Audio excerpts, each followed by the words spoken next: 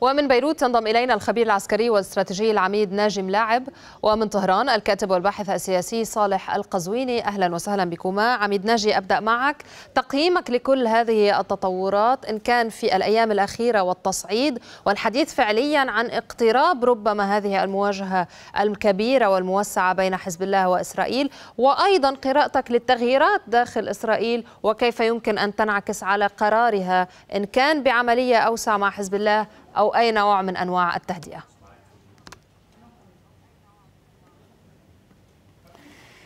يعني من حيث المبدأ هذه الحرب التي يخوضها حزب الله ليست بين جيشين. ما تقوم به إسرائيل بالرد على مسافات أطول بحيث أنها تطيل المسافة وتستهدف من تسميهم قادة في حزب الله. صحيح أن بعضهم قادة ولديهم مراكز ولكن حزب الله لا ينقصه إذا ما استشهد له قائد أو عنصر أو لأن هذه الحرب ليست حرب على جبهة ليست حرب يقود حزب الله فيها قتال هجومي مثلا أو حتى خطوط دفاعية أو تمركز دفاعي. هي حرب لا تناظرية لا تماثلية السيمتري هذه الحرب يعني ما بين ناس يعني لديهم وسائل حديثة. أي تقني اليوم شاطر باستعمال الكمبيوتر أو ب أو بالآي تي أو بهذا يستطيع إطلاق الصاروخ ويستطيع أن يكون على الجبهة ليس أكثر.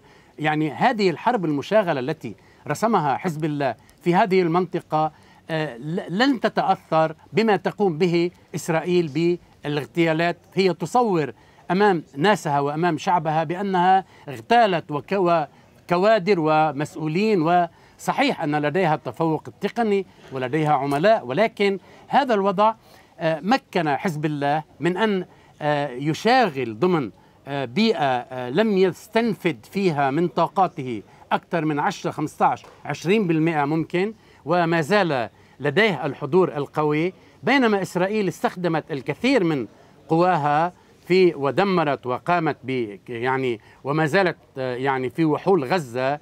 ولذلك الوضع حاليا هو على النحو التالي. حزب الله لا يريد هذه الحرب أكثر من مشاغلة ومساندة كما أعلنها لغزة ولكنه جاهز وما زال يمتلك القوة الكافية لخوضها. وإسرائيل تريد هذا إنهاء هذا التهديد من الشمال لكنها رغم كل التهديدات التي تقوم به تقوله هي أثبتت أنها غير جاهزة وقرارها لم يعد بيدها. أعيد أريد أن أركز على موضوع بسيط. ليس صدفة أن يقوم رئيس الأركان الإسرائيلي بالاجتماع في البحرين بالقيادة الوسطى الأمريكية ويقوم منفردا من دون الحكومة الإسرائيلية ومن دون القرار السياسي بفتح أو وقف عمليات قتالية ما بين معبر كرم أبو سالم وصلاح الدين من دون العودة للحكومة. لذلك أصبح القرار يبدو أن القرار في إسرائيل هو قرار أمريكي أكثر منه لدى الحكومة الإسرائيلية. سأعود إلى هذه النقطة لأنه حتى قبل بعض الوقت كان في مصادر فرنسية تتحدث عن الموضوع بطريقة موازية أنه حزب الله لا يجب أن يربط موضوع هدنة في غزة أو وقف إطلاق نار في غزة لكي يقف الحرب المفتوحة حتى الساعة بحدودها على الجبهة اللبنانية لأنه ذلك سيكون عائق أمام التوصل إلى أي اتفاق. أرحب مجددا بك أستاذ صالح.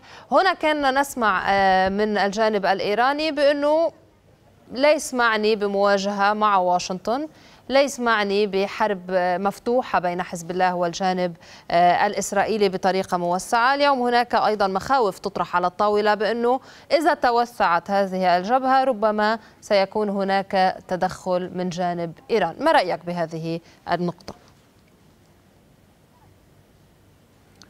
بسم الله الرحمن الرحيم. تحية لك يا أختي الكريمة ولضيفك ولكل المشاهدين. لا على العكس من ذلك إيران معنية بشكل كبير بما يجري يعني منذ اللحظات الأولى للعدوان الإسرائيلي على غزة إيران تحركت وطالبت غير معنية بتوسع المواجهة. فورا وهد يعني يعني ماذا يمكن أن نطلق على توسع المواجهة؟ إذا كان المقصود أنه إيران ستشارك يعني بجيشها وبقواتها في هذه الحرب هذا في الوقت الحالي مستبعد نعم إذا شنت إسرائيل كما حدث في قضية القنصلية الإيرانية في في سوريا إذا شنت إسرائيل حرب مثل هذه الحرب يعني الشاملة بالتأكيد أن إيران سوف تشارك وسوف تدخل بشكل مباشر إلى هذه الحرب وإلى جانب اللبنانيين وإلى جانب المقاومة الفلسطينية. ولكن الانخراط حاليا هناك انخراط انخراط كبير إيراني في في هذه الحرب ومشاركة.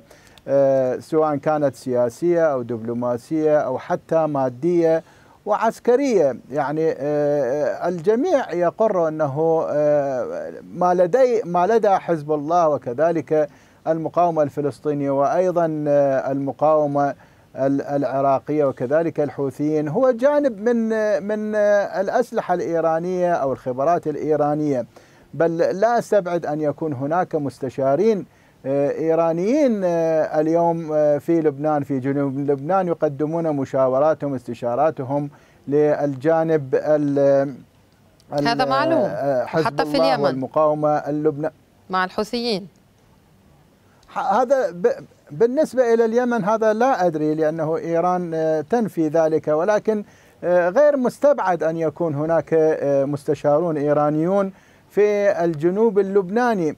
بالتالي ما تتفضلين بأنه إيران تشارك. إيران منخرطة بشكل مباشر في هذه الحرب كما الولايات المتحدة الأمريكية.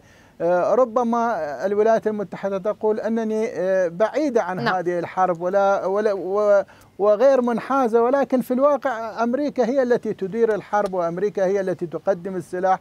ولولا أمريكا لما استطاعت إسرائيل إلى اليوم أن أن أن أن تستمر في هذا سأعود إلى هذه النقطة أستاذ صالح.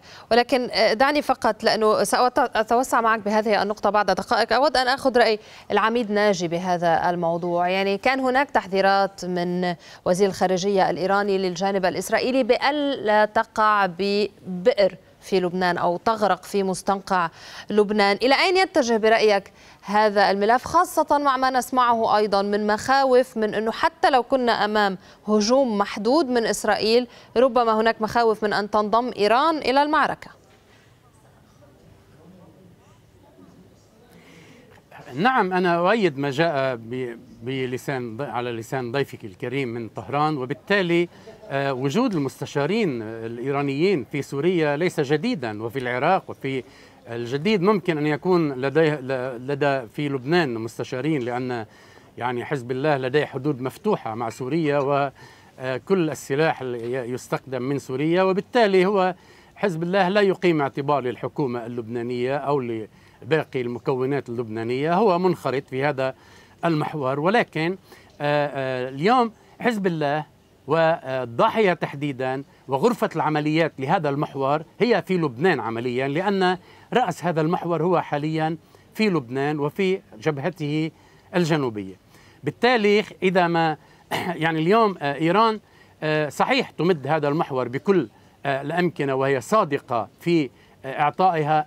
أرقى التقنيات يعني اليوم عندما إذا عدنا قليلا إلى يونيو 2023 السيد كينيث ماكنزي القائد الذي كان قائد القائد القيادة الأمريكية الوسطى حذر كثيرا من التقنيات الإيرانية في الطائرات المسيرة وفي الصواريخ.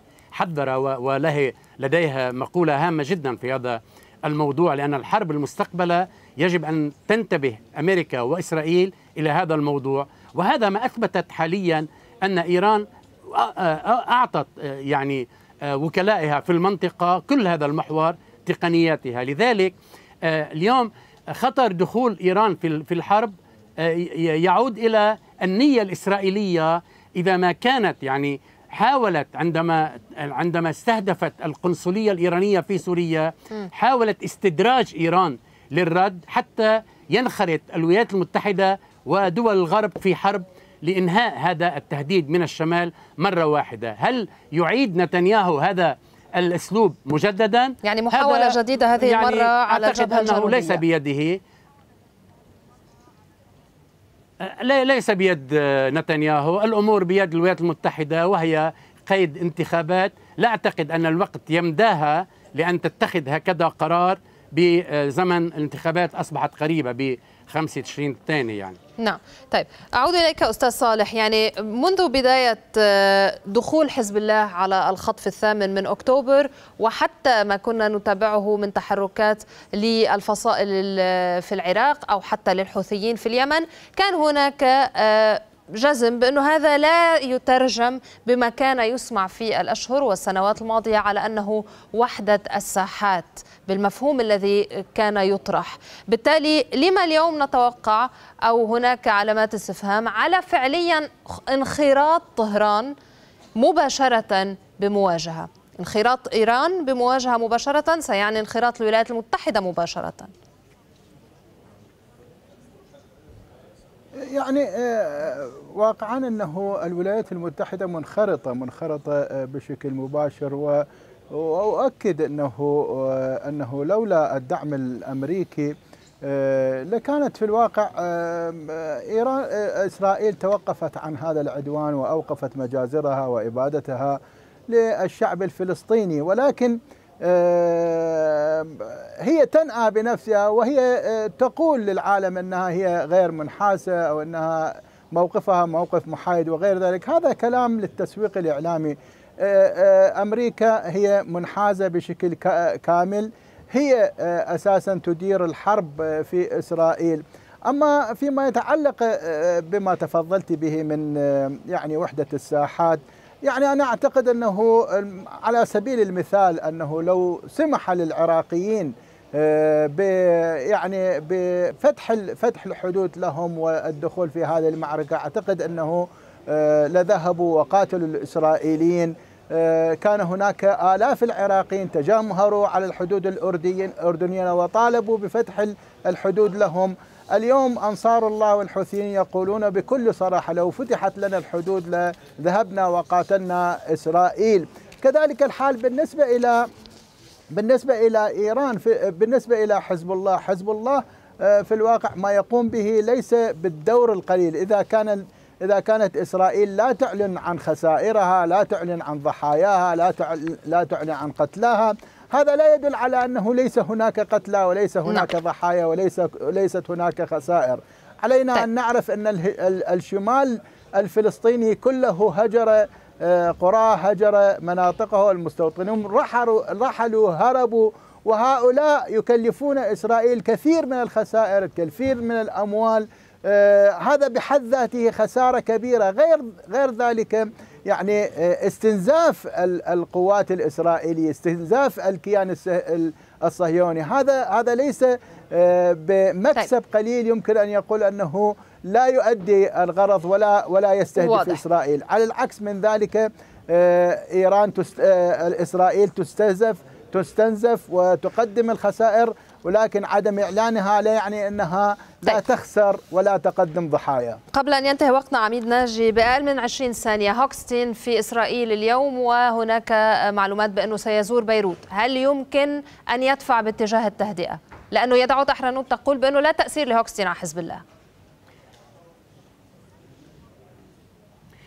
لا تأثير طالما ربط حزب الله وقف النار في غزة. وهوكستين استوعب كثيرا أن لا يمكن إخراج حزب الله من الجنوب اللبناني وليس مطلوبا هذا نعم. الوضع.